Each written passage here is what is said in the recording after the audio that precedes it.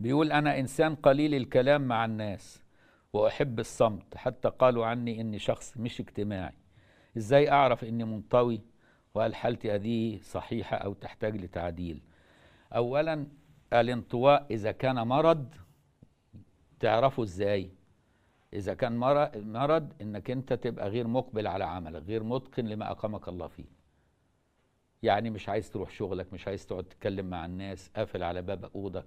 الأوضة بتاعتك تبقى صاحي وقاعد في أوضتك مش عايز تخرج ولا عايز حتى تفطر ولا عايز تتشطف ولا عايز تستحمى وتغير هدومك وتروح شغلك. آه يبقى ده اكتئاب يا جماعة.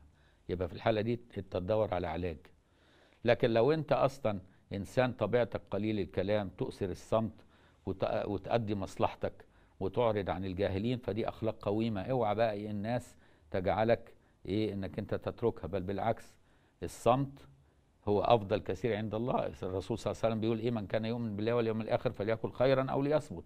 فالإنسان اللي هو قليل الكلام ده وبيؤدي مهامه وبيؤدي ما أقام الله فيه ده إنسان على أخلاق الأنبياء على أخلاق العقلاء الصالحين فإياك أن تترك هذا.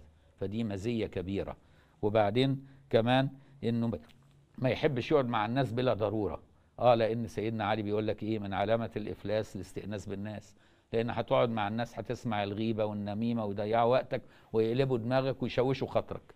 وانت عايز تقعد مع نفسك تراجع قرآنك تصلي سننك تذكر ربك تريح خواطرك تجمع خاطرك تجتمع إيه؟ الحكمة في قلبك. يبقى انت إيه؟ ما تقعدش مع الناس إلا بقدر ما تأخذ منهم بالدواء. الناس دول عاملين زي الدواء. انت تاخد الدواء على الفاضي وعلى المليان يجي لك تسمم. فالناس دول دواء وداء. فتعامل مع الناس انهم دواء. خد منهم بقدر الحاجة. ما توسعش دائرة معارفك وما إيه عشان ما تلاقيه. عارف أنت لما دائرة معارفك تزيد والله ما هتعرف تصلي ركعتين. الموبايل بتاعك مش هيبطل يرن. فهيشوشوك هيخطفوك هيخطفوا منك عمرك يا مسكين. وعلشان كده سيدنا علي كان يقول إيه؟ من علامات الإفلاس الاستئناس بالناس. وعلشان كده ربك بيقول إيه؟ فإذا فرغت فانصب وإلى ربك إيه؟ فارغب. فانصب يعني في الطاعة. وإلى ربك فارغب. إيه حتى لا تتشوش بالناس ولا بالدنيا. يبقى لو فيك الصفات دي وانت بتؤدي مهامك الكويسة اثبت عليها فهي صفات نبوية شريفة.